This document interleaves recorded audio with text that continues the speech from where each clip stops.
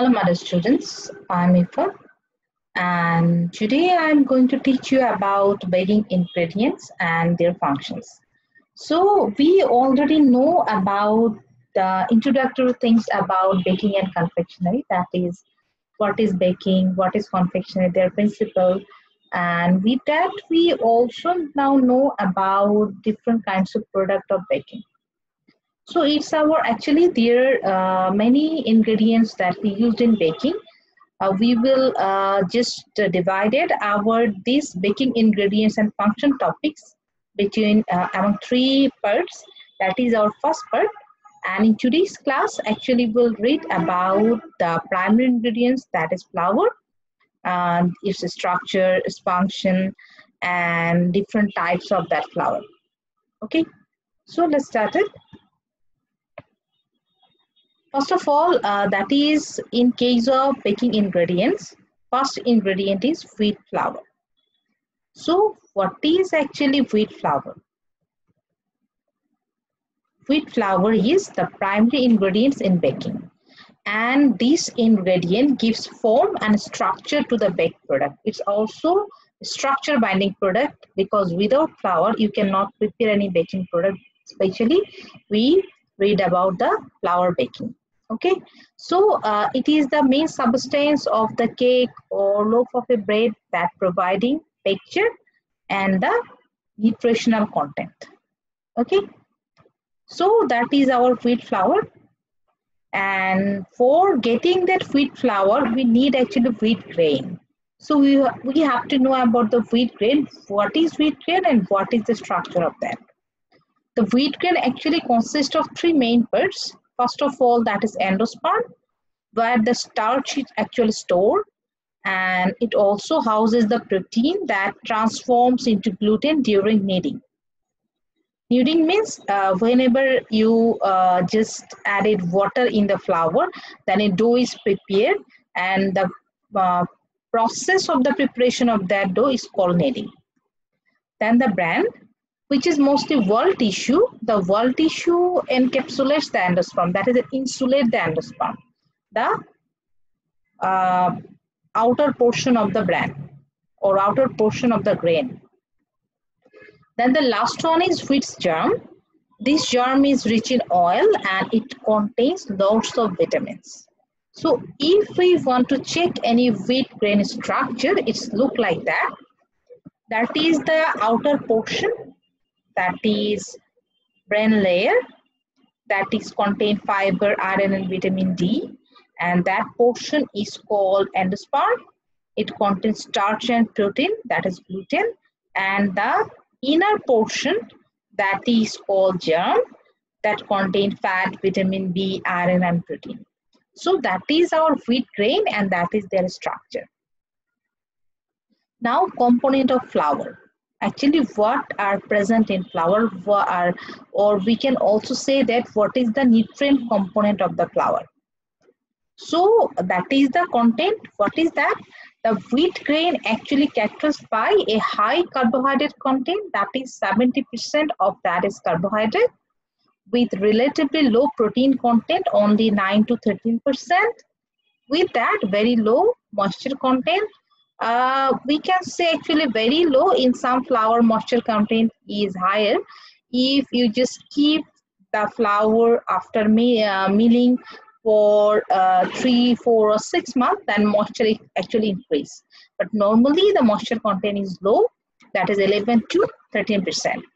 And small amounts of lipid and a number of enzymes, fibers, minerals, and vitamins also present. So in case of that carbohydrate content, the primarily present is starch and cellulose, that is polysaccharides. And it's actually changes or gelatinized during baking. That we already read in our previous class. And the proteins include, of course, glutenin and gliadin.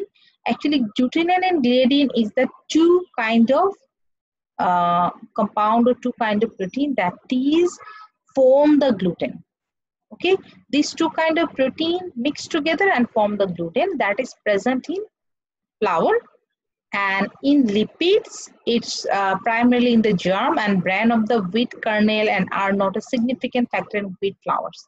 Actually, lipid, a very low amount lipid is present in the flour.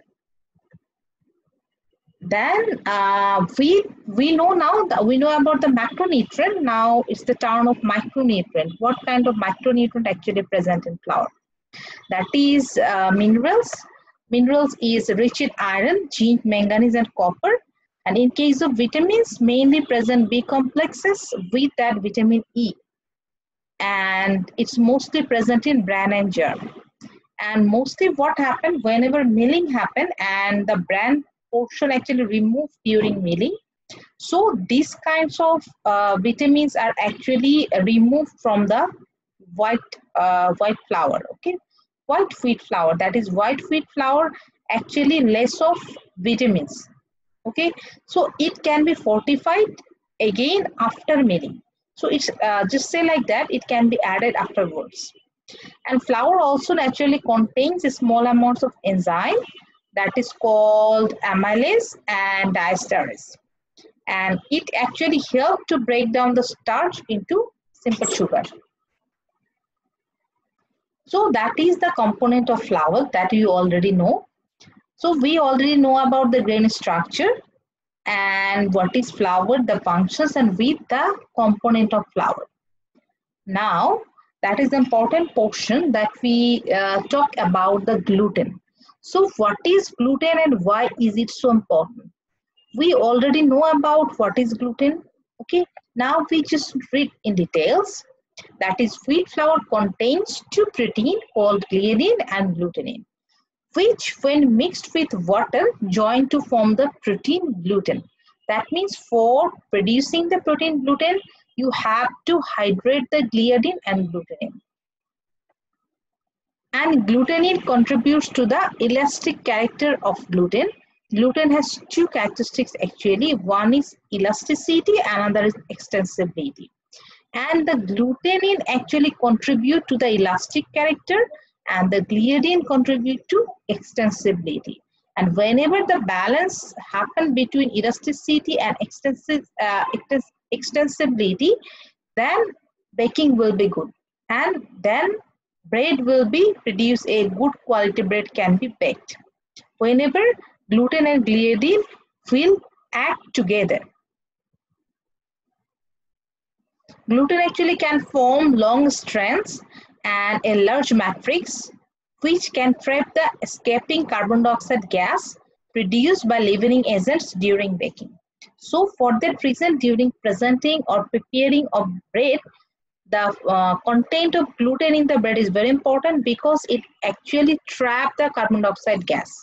And when the baking happen, with the help of that carbon dioxide gas, your dough is raised and it will be fluffy and spongy. So gluten preparation in cakes of bread is very important. Then a high level of gluten will produce a tougher chew texture that is actually required for bread. But if you want to prepare cake or pastry, in case of that, you must use a low gluten flour because in case of bread, we need a chew texture or tougher the texture. But in case of cake, we need a mouth feel or soft texture. So in case of bread, we actually use high level of gluten and in case of cake, we actually use low level of gluten flour. And so we already know about what is gluten and why it is so important. Now we can check the binding reaction, how it binds. So whenever glutenin and gliadin hydrated, it actually bind like that. In case of flour, it like that separated. One is uh, gliadin and another is glutenin. They are separately present in flour, but when the flour is hydrated, the gliadin actually attach with glutenin and then prepare that bond. That bond is called disulfide bond. And for that reason, the glutenin network is uh, gluten network is produced in the entire dough. So now we know what is gluten, how, it is, how the bond is formed, but what is gluten's functions in baking and cooking, you have to give that answer in your student question answer form. Then types of flour. First of all, there are lots of types of flour uh, in the world. So we will read actually uh, four or five types and which are mainly used in baking. Okay, so first of all, types of flour that is first bread flour. And bread flour is a hard wheat flour with about 12% protein. And it is used for actually for yeast fresh bread because in case of yeast fresh bread, uh, the dough is produced has more gluten than dough made with other flours. And uh, sufficient gluten is produced then the loaf will be a good volume and then bread uh, the bread will be a good quality bread. So actually in bread flour the uh, gluten content is more than 12 percent. Okay? Uh, then that is our bread flour. Then our cake flour it is another kind of flour. That is uh, the protein percentage of that actually 7.5 percent and the low gluten content is very much important in cake flour because we need a tender and mouthfeel texture. So we use low gluten flour and it's called cake flour where gluten percent is 7.5 then all purpose flour uh, it is actually uh, prepared uh, to contain or to achieve the percentage of 10.5 actually it is a balance between cake flour and bread flour because these kind of flour we can use for producing any kind of baked flour uh, confections okay? It can be bread cake biscuit cookies but it is advisable that whenever you use all purpose flour for cake you use less all purpose flour than the cake's recipe. If it is one cup then you can just uh, keep out two tablespoons from the flour and then use it. So your cake will be better as the percentage of protein is higher in it. Then another kind of flour is self-rising flour. It is actually a variety of all-purpose flour, but in that flour, the baking powder and uh, baking powder and salt is actually added there. So there is no need to add extra baking powder or salt there. Just use water there and then the uh, cake or pancake can be produced this type of flour mainly. Okay, so here is a recipe that you can make your own self-rising flour by whisking uh, one and a half teaspoons of baking powder and half teaspoon salt into one cup of all-purpose flour. Then whole wheat flour, it is actually produced from the whole grain. In case of wheat flour, actually we know that uh, wheat flour actually produced from the endosperm portion. But whenever it is whole wheat flour, it is actually produced uh, with the bran portion. So it is, its nutritional value is more than the wheat flour. Then rice flour is actually is not so much used in our baking. It's mainly used for producing uh, mixing with baking. That means another kinds of flour can be added with rice flour. Also, it can be uh, prepared for preparation different kinds of pithas of our country. But in case of actual total baking rice flour is a additional ingredient with flour. Okay because it cannot form the gluten. Uh, especially who cannot tolerate the gluten digest if anyone's a digestion problem of wheat flour or gluten digestion problem mainly they use the rice flour and it's about gluten percentage 6.5 to 7 percent. And i already mentioned it does not form gluten. And uh, who can, uh, who cannot tolerate gluten actually they use it in their baking then there is some alternative flours actually that is rye corn that is also uh, available for baking but that is not so much used. If there is a fixed recipe for rye or corn flour or anyone you want to use that then actually that types of flour is used. With that there were some other flours like soy, buckwheat, oat, rice, potato. You already know about rice flour, potato starch flours. These kinds of flour actually use if anyone want to produce any gluten-free baking or low, very low gluten baking. Okay, so uh, that is uh, our different kinds of flour that we already know about that. And they, uh, this kind of flour actually that uh, rye corn or soy or rice that kind of flour actually uses additional binding agent. Or if anyone uh, want to prepare a special recipe with that flour then it is used. But normally in traditional baking wheat flour is mainly used.